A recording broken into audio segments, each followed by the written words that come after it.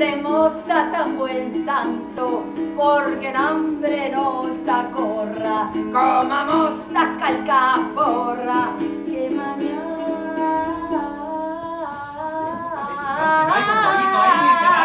ni melisma, ni nada. Ay, gran quebranto, no tanto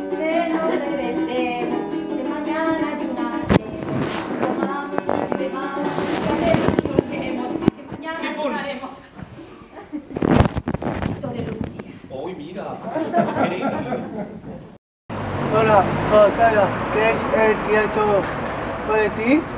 es eh, lo que más me gusta en la vida y a lo que tengo la suerte de dedicarme.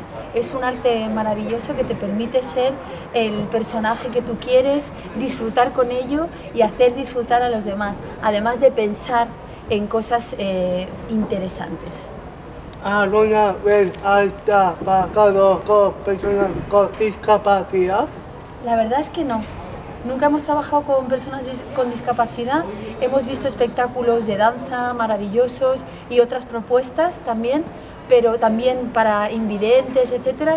Pero es verdad que nosotros no hemos incluido nunca en ningún espectáculo eh, una persona con discapacidad. Tendremos que considerarlo.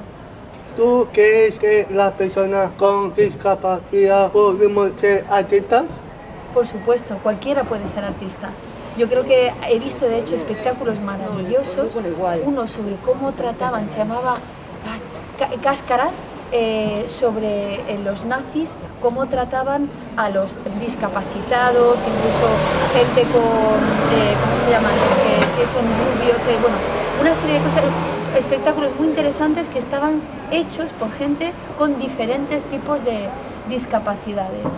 Eh, muchas gracias, doctora Marín.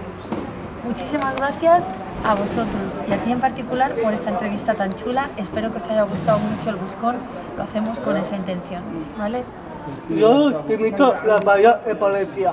Genial, pues la próxima vez que vengamos, así lo haremos. Vale.